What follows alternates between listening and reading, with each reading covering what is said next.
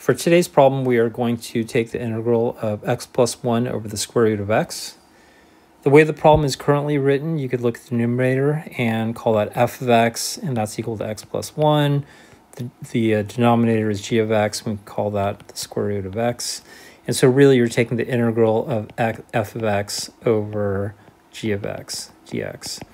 And this is a little bit more complicated to try to evaluate the integral this way. So what we can instead do is rewrite the expression that we're integrating and make it look more like a polynomial. So if we rewrite it, it becomes x over x to the 1 half because square root of x is, is equivalent to uh, x to the 1 half plus 1 over x to the 1 half dx.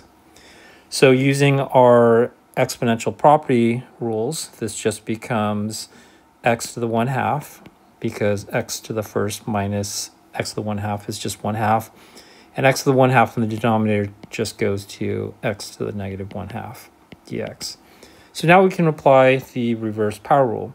So when we do that, we're essentially adding 1 here, adding 1 here. That becomes 3 halves. This becomes equal to 1 half. And then we multiply by the reciprocal. So the reciprocal of 3 halves is 2 thirds. And the new power is 3 halves. And then the reciprocal of 1 half is 2. And the new exponent is 1 half. And then we add our constant of integration. So we can make this a little cleaner. It's act we're actually done, but we can make it a little bit cleaner by factoring out a 2 thirds. So when we do that, what we're essentially doing is we are we are multiplying by 3 halves with the 2 thirds because these two factors together are equal to 1, so you're not changing the value of the expression. So you can take this 3 halves factor and distribute it to these two subterms.